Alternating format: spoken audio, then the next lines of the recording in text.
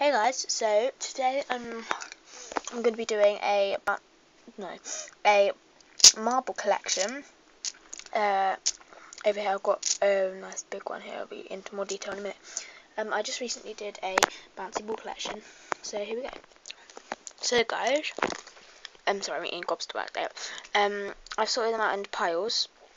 There isn't others pile because you know there's just single ones and ones that go into any category. Uh, so over here I've got a couple of marbles that have like different fish in them. Plain marbles with a little fish in them basically. Next I have this small blue one here but in its category is this nice large blue one. Next is this like pinkish colour marble with blue and white spots on them. Next we've got kind of these like nice like smooth not like it's not like a glass feeling. It feels much more like a it's like a more plasticky not no it's not plasticky. It's it's a, it's a bit more rough but it's really nice feeling. So it's turquoise with white in it. And I've got glass blue ones with white bits on them. I have these, I always like, I, I always think of these as peppermint. They kind of look like pepperminty sort of colour with like bl light blue on them.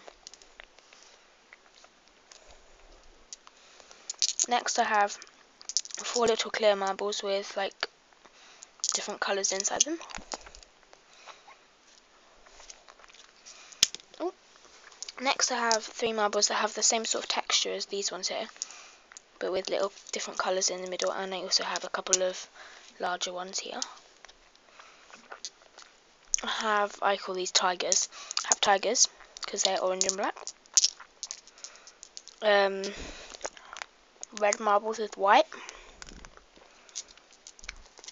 I love these because they have a really nice shine to them and they're just like blue. They, they look much nicer in real life but they're just such a nice thing and these they're like I call these ones spearmints those ones are peppermints and these ones are spearmints so you know what I mean? They're kind of similar but I call these ones the spearmints I have four ball bearings heavy marbles what they are metal.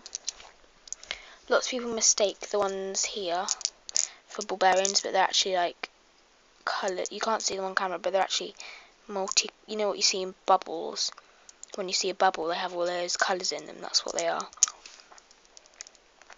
On the others pile, I've got four small marbles, mm, three small marbles with one with orange and yellow, one with like three colours and a white, and one blue and yellow. I always call this candy cane marble because it's white, you know, Christmassy type candy cane. I call this like I don't I don't call this one anything, but just, this one's just a nice big plain marble with a couple of colours in, nice. And the biggest one I have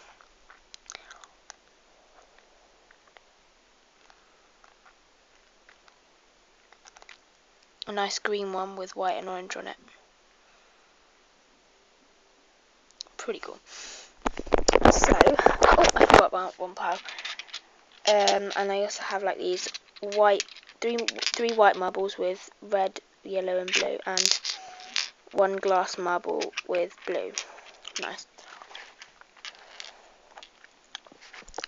So, please subscribe and rate and please comment down below your favourite marble um,